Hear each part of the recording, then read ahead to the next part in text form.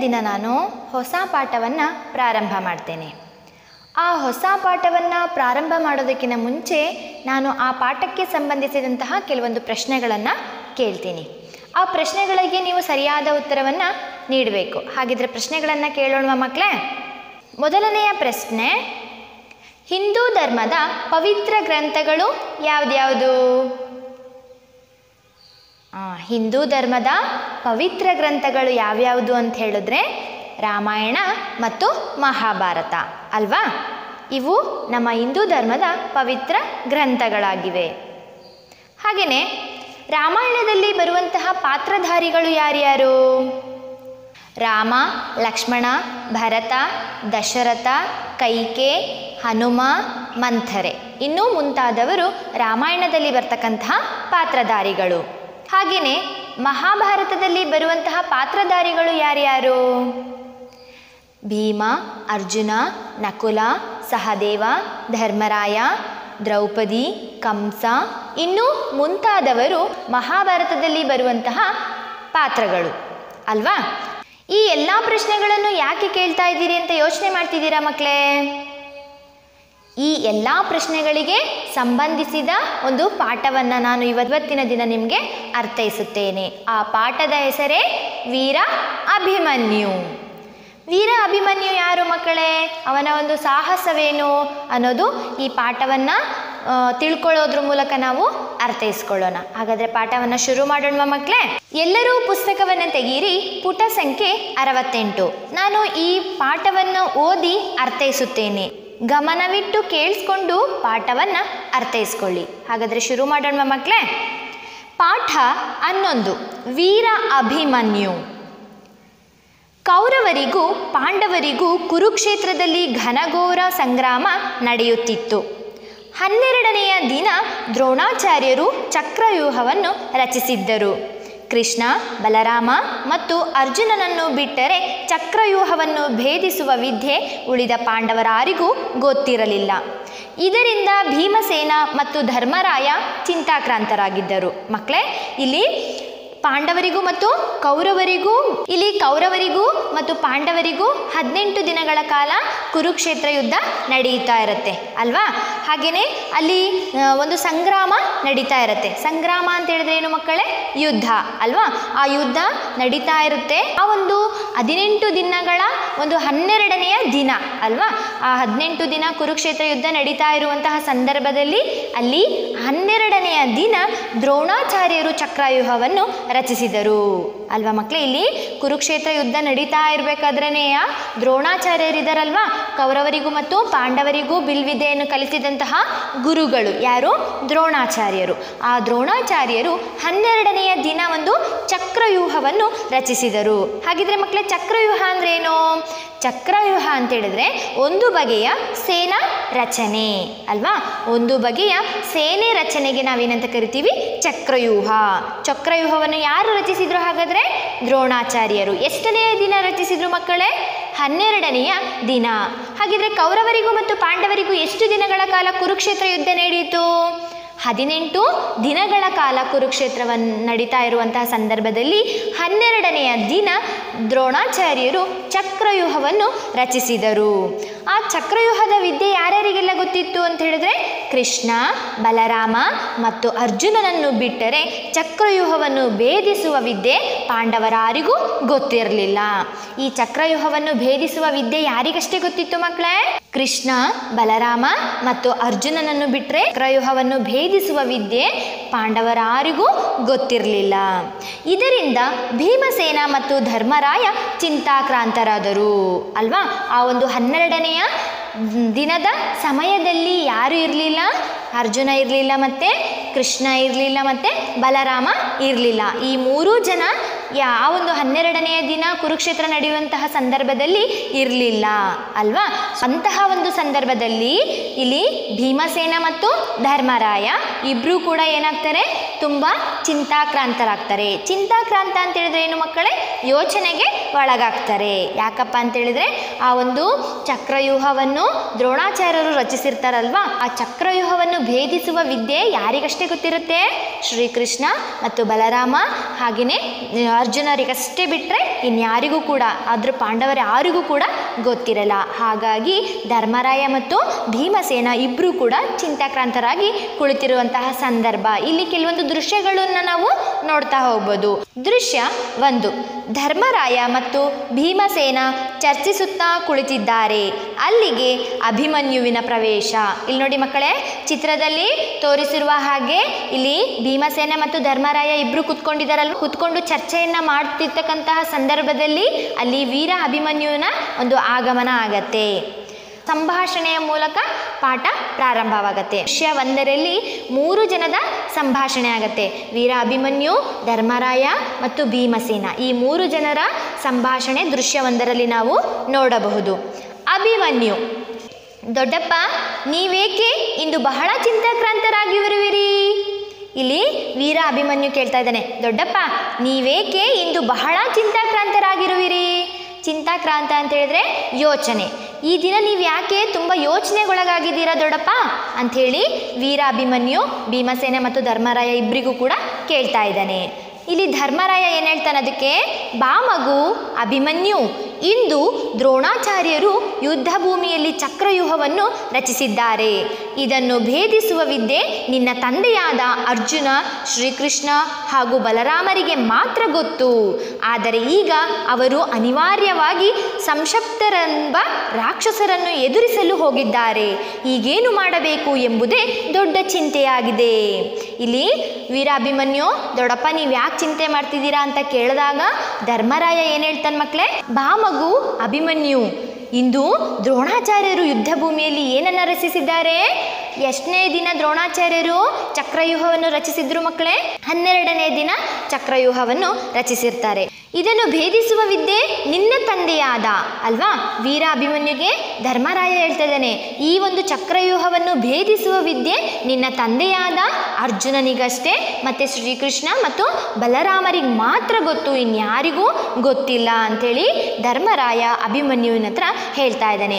ಆದರೆ ಈಗ ಅವರು ಅನಿವಾರ್ಯವಾಗಿ ಸಂಶಪ್ತರೆಂಬ ರಾಕ್ಷಸರನ್ನು ಎದುರಿಸಲು ಹೋಗಿದ್ದಾರೆ. ಸಂಶಪ್ತರು ಅಂದರೆ ಏನು ಮಕ್ಕಳೇ? ಪರಸ್ಪರ ಶಪಥ ಮಾಡಿ ಯುದ್ಧ ಮಾಡುವ ವೀರರು. ಇವರಿಗೆ ನಾವೇನಂತ ಕರಿತೀವಿ? ಸಂಶಪ್ತರು. ಇವರು ಅನಿವಾರ್ಯ ನಿಮಿತ್ತವಾಗಿ ಎಲ್ಲಿಗೆ ಹೋಗಿರ್ತಾರೆ? ಸಂಶಪ್ತರೆಂಬ ರಾಕ್ಷಸರನ್ನು ಎದುರಿಸಲು ಈ ಮೂರು ಜನ ಹೋಗಿರ್ತಾರೆ. ಯಾರ್ಯಾರು? ಅರ್ಜುನ, ಬಲರಾಮ ಮತ್ತು ಶ್ರೀಕೃಷ್ಣ.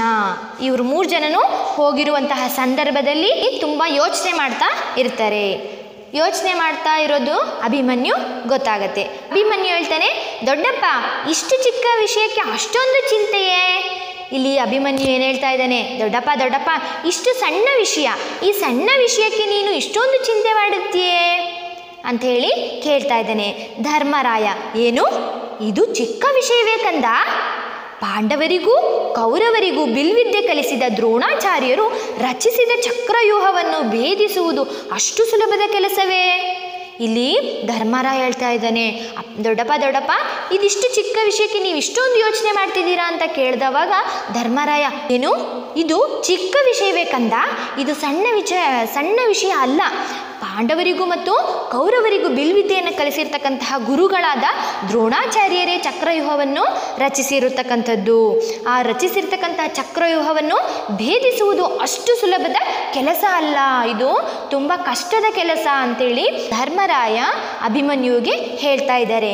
ಆಗ ಅಭಿಮನ್ಯು ಏನು ಹೇಳ್ತಾನೆ ನೋಡಿ ಮಕ್ಕಳೇ ಅಭಿಮನ್ಯು, ಚಿಂತೆಯನ್ನು ಬಿಡಿ ದೊಡ್ಡಪ್ಪ. ಚಕ್ರವ್ಯೂಹವನ್ನು ನಾನು ಭೇದಿಸುತ್ತೇನೆ. ನನ್ನನ್ನು ಆಶೀರ್ವದಿಸಿ, ಕಳಿಸಿಕೊಡಿ. ದೊಡಪ್ಪ ದೊಡಪ್ಪ ನೀನು ಚಿಂತೆ ಮಾಡೋದನ್ನು ಬಿಡು.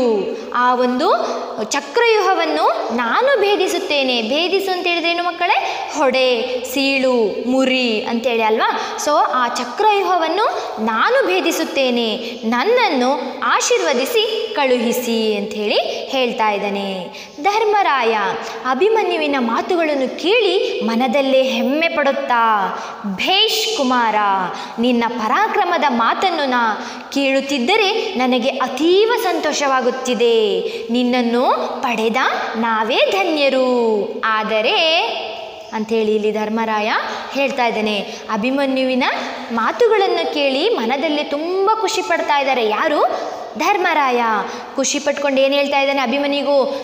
ಭೇಷ್ ಕುಮಾರ, ಭೇಷ್, ನಿನ್ನ ಈ ಪರಾಕ್ರಮದ ಮಾತುಗಳನ್ನು ಕೇಳುತ್ತಿದ್ದರೆ ನನಗೆ ಅತೀವ ಸಂತೋಷವಾಗ್ತಾ ಇದೆ. ತುಂಬ ಸಂತೋಷವಾಗ್ತಿದೆ ನಿನ್ನ ಈ ಪರಾಕ್ರಮದ ಮಾತುಗಳನ್ನು ಕೇಳಿ.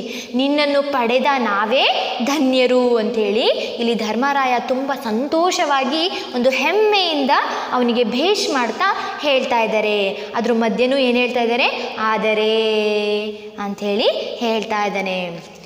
ಅಭಿಮನ್ಯು, ಆದರೆ ಹಾಗೆಂದರೇನು ದೊಡ್ಡಪ್ಪ? ನನ್ನ ಸಾಮರ್ಥ್ಯದ ಮೇಲೆ ನಿನಗೆ ಶಂಕೆಯೇ? ನನ್ನ ಮೈಯಲ್ಲಿ ಹರಿಯುತ್ತಿರುವುದು ಕ್ಷತ್ರಿಯ ವಂಶದ ರಕ್ತ. ನಾನು ಜಗದ್ವಿಖ್ಯಾತ ಅರ್ಜುನನ ಮಗ. ಬಿಲ್ವಿದ್ಯೆಯಲ್ಲಿ ಜಗದ್ವಿಖ್ಯಾತಿಯಾಗಿರ್ತಕ್ಕಂತಹ ಅರ್ಜುನನ ಮಗ ನಾನು. ನನ್ನ ಮೈಯಲ್ಲಿ ಹರಿಯುತ್ತಿರುವ ರಕ್ತ ಕ್ಷತ್ರಿಯ ವಂಶದ ರಕ್ತ. ನನಗೆ ಆ ಸಾಮರ್ಥ್ಯ ಇದೆ. ನನ್ನ ಸಾಮರ್ಥ್ಯದ ಮೇಲೆ ನಿಮಗೆ ಅನುಮಾನವೇ? ಆದರೆ ಗೀದರೆ ಏನೂ ಇಲ್ಲ ದೊಡ್ಡಪ್ಪ ಅಂಥೇಳಿ ಅಭಿಮನ್ಯು ಆ ಧರ್ಮರಾಯನ ಮಾತುಗಳಿಗೆ ಉತ್ತರಿಸ್ತಾ ಇದ್ದಾನೆ. ಧರ್ಮರಾಯ, ಅಹುದು ಮಗು, ನೀ ಹೇಳುತ್ತಿರುವ ಮಾತುಗಳಲ್ಲಿ ಸಂದೇಹವೇ ಇಲ್ಲ. ಆದರೆ ನಿನ್ನ ಘನಘೋರ ಯುದ್ಧವು ನಿನ್ನಂತಹ ಬಾಲಕನಿಗೆ ಸಲ್ಲದು ಕುಮಾರ. ನೋಡಿಲಿ ಧರ್ಮರಾಯ ಏನು ಹೇಳ್ತಾ ಇದ್ದಾನೆ ಅಹುದು ಮಗು, ನೀನು ಹೇಳ್ತಾ ಇರೋದೆಲ್ಲ ನಿಜ. ನೀನು ಜಗದ್ವಿಖ್ಯಾತ ಅರ್ಜುನನ ಮಗನೇ. ನಿನ್ನ ಮೈಯಲ್ಲಿ ಹರಿಯುತ್ತಿರುವ ರಕ್ತವೂ ಕೂಡ ಈ ಕ್ಷತ್ರಿಯ ವಂಶದ ರಕ್ತನೇ, ಅಲ್ವಾ? ಆದರೆ ನೀನು ಹೇಳ್ತಾ ಇರೋದೆಲ್ಲ ನಿಜ. ನೀ ಹೇಳುತ್ತಿರುವ ಮಾತುಗಳಲ್ಲಿ ಯಾವ ಒಂದು ಸಂದೇಹವೂ ಇಲ್ಲ ಯಾವ ಅನುಮಾನನೂ ಕೂಡ ಇಲ್ಲ. ಆದರೆ ಈ ಘನಘೋರ ಯುದ್ಧವು ನಿನ್ನಂತಹ ಬಾಲಕನಿಗೆ ಸಲ್ಲದು ಕುಮಾರ. ಘನಘೋರ ಅಂದ್ರೆ ಏನು ಮಕ್ಕಳೇ? ತುಂಬ ಭಯಂಕರವಾಗಿರ್ತಕ್ಕಂತಹ ಯುದ್ಧ. ಈ ಯುದ್ಧವು ನಿನ್ನಂತಹ ಸಣ್ಣ ಬಾಲಕನಿಗೆ ಅಲ್ಲ ಮಗು ಆ, ಧರ್ಮರಾಯ ಅಭಿಮನ್ಯುಗೆ ಹೇಳ್ತಾ ಇದ್ದಾನೆ. ಅಭಿಮನ್ಯು ಚಕ್ರವ್ಯೂಹವನ್ನು ಭೇದಿಸುವ ವಿದ್ಯೆಯನ್ನು ನಾನು ತಾಯಿಯ ಗರ್ಭದಲ್ಲಿರುವಾಗಲೇ ಶ್ರೀಕೃಷ್ಣ ಪರಮಾತ್ಮನಿಂದ ಕೇಳಿ ತಿಳಿದುಕೊಂಡಿದ್ದೇನೆ. ನನ್ನನ್ನು ಹರಸಿ ಕಳಿಸಿ ದೊಡಪ್ಪ. ದೊಡಪ್ಪ ದೊಡಪ್ಪ, ನಾನು ಚಕ್ರವ್ಯೂಹವನ್ನು ಭೇದಿಸುವ ವಿದ್ಯೆಯನ್ನು ನಾನು ತಾಯಿಯ ಗರ್ಭದಲ್ಲಿದ್ದಾಗಲೇ. ಅಂತೇಳಿದರೆ ಈ ಅಭಿಮನ್ಯು ತನ್ನ ತಾಯಿ ಸುಭದ್ರೆಯ ಗರ್ಭದಲ್ಲಿದ್ದಾಗಲೇ ನಾನು ತಿಳ್ಕೊಂಡಿದ್ದೇನೆ. ತನ್ನ ತಾಯಿ ಅಂತೇಳಿದರೆ ಯಾರಿಲ್ಲಿ? ಅಭಿಮನ್ಯುವಿನ ತಾಯಿ ಸುಭದ್ರೆ ಅಲ್ವಾ? ಆ ಸುಭದ್ರೆಯ ಗರ್ಭದಲ್ಲಿದ್ದಾಗಲೇ ಇವನು ಚಕ್ರವ್ಯೂಹದ ವಿದ್ಯೆಯನ್ನು ಯಾರಿಂದ ಕಲ್ತಿರ್ತಾನೆ? ಶ್ರೀಕೃಷ್ಣ ಪರಮಾತ್ಮನಿಂದ ಕೇಳಿ ತಿಳ್ಕೊಂಡಿದ್ದೇನೆ ಅಂತ ಹೇಳಿ ಇಲ್ಲಿ ಹೇಳ್ತಾ ಇದ್ದಾನೆ, ಅಲ್ವಾ? ಆ ಒಂದು ತಾಯಿಯ ಗರ್ಭದಲ್ಲಿದ್ದಾಗಲೇ ಆ ಅಭಿಮನ್ಯು ಆ ಶ್ರೀಕೃಷ್ಣ ಪರಮಾತ್ಮ ಹೇಳುವಂತಹ ವಿಚಾರಗಳನ್ನು ಕೇಳಿ ನಾನು ಆ ಒಂದು ಚಕ್ರವ್ಯೂಹವನ್ನು ಭೇದಿಸುವ ಒಂದು ವಿದ್ಯೆಯನ್ನು ಕಲಿತಿದ್ದೇನೆ ದೊಡ್ಡಪ್ಪ. ನನ್ನನ್ನು ಹರಸಿ ಕಳುಹಿಸಿ ಕೊಡು ದೊಡ್ಡಪ್ಪ ಅಂಥೇಳಿ ಕೇಳ್ತಾ ಇದ್ದೇನೆ. ನನಗೆ ಆಶೀರ್ವಾದ ಮಾಡಿ ಕಳಿಸ್ಕೊಡಿ ದೊಡ್ಡಪ್ಪ ಅಂತ ಕೇಳಿ ಇಲ್ಲಿ ಧರ್ಮರಾಯನಿಗೆ ವೀರ ಅಭಿಮನ್ಯು ಕೇಳ್ತಾ ಇದ್ದಾನೆ. ಭೀಮಸೇನ ಬರ್ತಾನೆ ಇವಾಗ. ಭೀಮಸೇನ, ಭಲೇ ಕುಮಾರ, ನಿನ್ನ ಪರಾಕ್ರಮದ ಮಾತುಗಳನ್ನು ಕೇಳುತ್ತಿದ್ದರೆ ನೀನು ಚಕ್ರವ್ಯೂಹವನ್ನು ಭೇದಿಸುವುದರಲ್ಲಿ ಯಾವುದೇ ಅನುಮಾನವಿಲ್ಲ. ಇಷ್ಟೋ ತನಕ ಧರ್ಮರಾಯನ ಒಂದು ಸಂಭಾಷಣೆ ಆಯಿತು. ಈಗ ಭೀಮಸೇನ ಹೇಳ್ತಾ ಇದ್ದಾನೆ. ಭೀಮಸೇನನು ಕೂಡ ಅವನಿಗೆ, ಭಲೆ ಕುಮಾರ, ಭೇಷ್, ಭಲೆ, ನಿನ್ನ ಒಂದು ಈ ಪರಾಕ್ರಮದ ಮಾತುಗಳನ್ನು ಕೇಳ್ತಿದ್ರೆ ನೀನು ಚಕ್ರವ್ಯೂಹನ್ನು ಭೇದಿಸುವುದರಲ್ಲಿ ಯಾವುದೇ ರೀತಿಯ ಸಂದೇಹವಿಲ್ಲ. ಯಾವುದೇ ರೀತಿಯ ಅನುಮಾನ ಇಲ್ಲ. ನೀನು ಈ ಚಕ್ರವ್ಯೂಹವನ್ನು ಭೇದಿಸುವುದರಲ್ಲಿ ನೀನು ಜಯ ಗಳಿಸಿ ಬಂದೇ ಬರ್ತೀಯಾ ಅಂಥೇಳಿ ನಮಗೆ ಎಲ್ರಿಗೂ ಅನಿಸ್ತಾ ಇದೆ ಅಂತೇಳಿ ಭೀಮಸೇನನು ಕೂಡ ಹಾಗೆಯೇ ಹೇಳ್ತಾನೆ. ಧರ್ಮರಾಯ ಇದೇನು ಭೀಮಸೇನ? ನೀನು ಹೇಳುತ್ತಿರುವುದು? ಅಭಿಮನ್ಯು ಇನ್ನೂ ಮಗು. ಅವನನ್ನು ಯುದ್ಧಕ್ಕೆ ಕಳುಹಿಸುವುದು ನನಗೆ ಸರಿ ಕಾಣಿಸದು. ನೀನು ಭೀಮಸೇನ ಏನು ಹೇಳ್ತಾನೆ? ನೀನು ಚಕ್ರವ್ಯೂಹನ್ನು ಭೇದಿಸುವುದರಲ್ಲಿ ಯಾವುದೇ ಸಂದೇಹವಿಲ್ಲ ಅಂತ ಹೇಳೋದನ್ನ ಧರ್ಮರಾಯ ಕೇಳಿಸ್ಕೊಂಡು ಏನು ಹೇಳ್ತಾ ಇದ್ದಾನೆ? ಇದೇನು ಭೀಮಸೇನ? ಹೀಗೆ ಹೇಳ್ತಿದೀಯಾ ನೀನು? ಅಭಿಮನ್ಯು ಇನ್ನೂ ಸಣ್ಣ ಬಾಲಕ, ಅವನು ಇನ್ನು ಮಗು. ಅವನನ್ನು ಯುದ್ಧಕ್ಕೆ ಕಳಿಸುವುದು ನನಗೆ ಅಷ್ಟು ಸರಿ ಕಾಣಿಸ್ತದು ಅಂತೇಳಿ ಧರ್ಮರಾಯ ಹೇಳ್ತಾ ಇದ್ದಾನೆ. ಹಾಗೆಯೇ ಭೀಮಸೇನ ಹೇಳ್ತಾ ಇದ್ದಾನೆ, ಅಣ್ಣ, ನೀನು ಚಿಂತಿಸಬೇಡ. ಚಕ್ರವ್ಯೂಹವನ್ನು ಭೇದಿಸುವ ಸಾಮರ್ಥ್ಯ ವೀರ ಅಭಿಮನ್ಯುವಿನಲ್ಲಿದೆ. ಅಣ್ಣ, ನೀನು ಯಾವುದೇ ರೀತಿಯ ಒಂದು ಚಿಂತೆಯನ್ನು ಮಾಡಬೇಡ. ಚಕ್ರವ್ಯೂಹವನ್ನು ಭೇದಿಸುವ ಒಂದು ವಿದ್ಯೆ ಆ ವೀರ ಅಭಿಮನ್ಯುವಿನಲ್ಲಿದೆ. ಅಂಥೇಳಿ ಹೇಳಿದಾಗ, ಧರ್ಮರಾಯ, ಆಯಿತು ಭೀಮಸೇನ, ನಿನ್ನ ಮಾತಿನಂತೆ ಅಭಿಮನ್ಯುನನ್ನು ಯುದ್ಧಕ್ಕೆ ಕಳಿಸಲು ನನ್ನ ಸಹಮತವಿದೆ ಅಂತ ಹೇಳಿದ್ರೆ ಒಪ್ಪಿಗೆ ಇದೆ. ಸಹಮತ ಅಂತ ಹೇಳಿದ್ರು ನಮ್ಮ ಮಕ್ಕಳೇ, ಒಪ್ಪಿಗೆ ಅಲ್ವಾ? ಆಗ ಭೀಮಸೇನ ಹೇಳಿದ್ದುವ ಮಾತುಗಳನ್ನು ಕೇಳಿ ಧರ್ಮರಾಯನು ಕೂಡ ಆ ಒಂದು ವೀರ ಅಭಿಮನ್ಯುನನ್ನು ಯುದ್ಧಕ್ಕೆ ಕಳುಹಿಸಲು ಇಬ್ಬರೂ ಕೂಡ ಒಪ್ಕೊಳ್ತಾರೆ. ನಾವೆಲ್ಲರೂ ಯುದ್ಧರಂಗದಲ್ಲಿ ವೀರ ಬಾಲಕನಿಗೆ ರಕ್ಷಾ ಕವಚದಂತಿರೋಣ ಅಂತೇಳಿದ್ರೆ ನಾವೆಲ್ಲರೂ ಕೂಡ ಇವನ ರಕ್ಷಾ ಕವಚದಂತೆ ನಾವು ಇರೋಣ ಅಂತ. ಆ ಯುದ್ಧ ಮಾಡುವಂತಹ ಸಂದರ್ಭದಲ್ಲಿ ವೀರ ಅಭಿಮನ್ಯು ನಾವೆಲ್ಲರೂ ಕೂಡ ಅವನ ರಕ್ಷಾ ಕವಚದಂತಿರೋಣ ಅಂಥೇಳಿ ಎಲ್ಲರೂ ಕೂಡ ಹೇಳ್ತಾರೆ. ಅಭಿಮನ್ಯುಗೆ ಬಹಳ ಸಂತೋಷವಾಯಿತು. ಬಹಳ ಸಂತೋಷ ದೊಡ್ಡಪ್ಪ, ನನ್ನನ್ನು ಆಶೀರ್ವದಿಸಿ ಎಂದು ಹೇಳಿ ಧರ್ಮರಾಯ ಭೀಮಸೇನರ ಪಾದಗಳಿಗೆ ನಮಸ್ಕರಿಸಿ ಹೊರಡುವನು. ಅಲ್ವಾ? ಭೀಮಸೇನ ಮತ್ತು ಧರ್ಮರಾಯ ಇಬ್ಬರೂ ಕೂಡ ವೀರ ಅಭಿಮನ್ಯುನನ್ನು ಯುದ್ಧ ಮಾಡಲಿಕ್ಕೆ ಒಪ್ಕೊಂಡು ಅವನನ್ನು ಕಳಿಸ್ಲಿಕ್ಕೂ ಕೂಡ ಸಿದ್ಧರಾಗ್ತಾರೆ ಅಂತಹ ಸಂದರ್ಭದಲ್ಲಿ ಅಭಿಮನ್ಯುಗೆ ತುಂಬ ಸಂತೋಷವಾಗಿಬಿಟ್ಟು ನನ್ನನ್ನು ಆಶೀರ್ವದಿಸಿ, ನನಗೆ ಒಳ್ಳೆಯದಾಗಲಿ ಅಂತೇಳಿ, ಆಶೀರ್ವದಿಸಿ, ಜಯ ಗಳಿಸಿ ಬರಲಿ ಅಂತೇಳಿ, ಆಶೀರ್ವದಿಸಿ ಅಂಥೇಳಿ ಧರ್ಮರಾಯ ಮತ್ತು ಭೀಮಸೇನರ ಇಬ್ಬರು ಪಾದಗಳಿಗೆ ನಮಸ್ಕಾರವನ್ನು ಮಾಡಿ ಹೊರಡ್ತಾನೆ ಇದು ಇದಿಷ್ಟು ವಿಚಾರಗಳು ದೃಶ್ಯವೊಂದರಲ್ಲಿ ಬರ್ತಕ್ಕಂತಹ ವಿಚಾರಗಳು. ಆಗಿದ್ರೆ ಅರ್ಥ ಆಯ್ತಾ ಮಕ್ಕಳೇ ದೃಶ್ಯವೊಂದರಲ್ಲಿ ಯಾರ್ಯಾರು ಬರ್ತಾರೆ? ಧರ್ಮರಾಯ, ಭೀಮಸೇನ ಮತ್ತು ವೀರ ಧರ್ಮರಾಯ, ಭೀಮಸೇನ ಮತ್ತು ವೀರ ಅಭಿಮನ್ಯು. ಅಲ್ವಾ? ಯಾರು ಯುದ್ಧಕ್ಕೆ ಸಿದ್ಧರಾಗ್ತಾರೆ? ವೀರ ಅಭಿಮನ್ಯು. ಎಂತಹ ಯುದ್ಧಕ್ಕೆ ಸಿದ್ಧನಾಗ್ತಾನೆ ವೀರ ಅಭಿಮನ್ಯು? ಚಕ್ರವ್ಯೂಹವನ್ನು ಭೇದಿಸುವ ಯುದ್ಧಕ್ಕೆ ಸಿದ್ಧನಾಗ್ತಾನೆ. ಚಕ್ರವ್ಯೂಹವನ್ನು ಭೇದಿಸುವ ವಿದ್ಯೆಗೆ ಯಾರ್ಯಾರಿಗಷ್ಟೇ ಗೊತ್ತಿರುತ್ತೆ? ಇಲ್ಲಿ ಶ್ರೀಕೃಷ್ಣ, ಬಲರಾಮ ಮತ್ತು ಅರ್ಜುನರಿಗಷ್ಟೇ ಗೊತ್ತಿರುತ್ತೆ. ವೀರ ಅಭಿಮನ್ಯುವಿನ ತಂದೆ ತಾಯಿಯ ಹೆಸರೇನು? ತಂದೆ ಅರ್ಜುನ, ತಾಯಿ ಸುಭದ್ರೆ. ಅಲ್ವಾ ಮಕ್ಕಳೇ ಎಷ್ಟು ದಿನಗಳ ಕಾಲ ಕುರುಕ್ಷೇತ್ರ ಯುದ್ಧ ನಡೆಯುತ್ತೆ? ಹದಿನೆಂಟು ದಿನಗಳ ಕಾಲ ಕುರುಕ್ಷೇತ್ರ ನಡೆಯುತ್ತೆ. ಚಕ್ರವ್ಯೂಹವನ್ನು ಎಷ್ಟನೆಯ ದಿನದಲ್ಲಿ ರಚಿಸಲಾಯಿತು ಮಕ್ಕಳೇ? ಹನ್ನೆರಡನೆಯ ದಿನದಲ್ಲಿ ಚಕ್ರವ್ಯೂಹವನ್ನು ರಚಿಸಿದ್ದರು. ಈ ಚಕ್ರವ್ಯೂಹವನ್ನು ಯಾರು ರಚಿಸಿದ್ದರು? ಕೌರವರಿಗೂ ಮತ್ತು ಪಾಂಡವರಿಗೂ ಬಿಲ್ವಿದ್ಯೆಯನ್ನು ಕಲಿಸಿರ್ತಕ್ಕಂತಹ ಗುರುಗಳಾದ ದ್ರೋಣಾಚಾರ್ಯರು ಈ ಚಕ್ರವ್ಯೂಹವನ್ನು ರಚಿಸಿರ್ತಾರೆ. ಹಾಗಿದ್ರೆ ಇವತ್ತಿನ ತರಗತಿ ನಿಮ್ಗೆಲ್ರಿಗೂ ಅರ್ಥ ಆಯ್ತಾ ಮಕ್ಕಳೇ ಇವತ್ತಿನ ತರಗತಿ ನಿಮ್ಮೆಲ್ಲರಿಗೂ ಅರ್ಥವಾಗಿದೆ ಎಂದು ಭಾವಿಸುತ್ತೇನೆ. ಉಳಿದ ಮುಂದಿನ ಎರಡು ದೃಶ್ಯಗಳನ್ನು ಮುಂದಿನ ತರಗತಿಯಲ್ಲಿ ನಾನು ಅರ್ಥೈಸುತ್ತೇನೆ. ಎಲ್ಲರಿಗೂ ಅರ್ಥವಾಯಿತ ಮಕ್ಕಳೇ ಇವತ್ತಿನ ಪಾಠ? ನಿಮ್ಮೆಲ್ಲರಿಗೂ ಅರ್ಥವಾಗಿದೆ ಎಂದು ಭಾವಿಸಿ ಇವತ್ತಿನ ತರಗತಿಯನ್ನು ಮುಗಿಸುತ್ತೇನೆ. ಧನ್ಯವಾದಗಳು.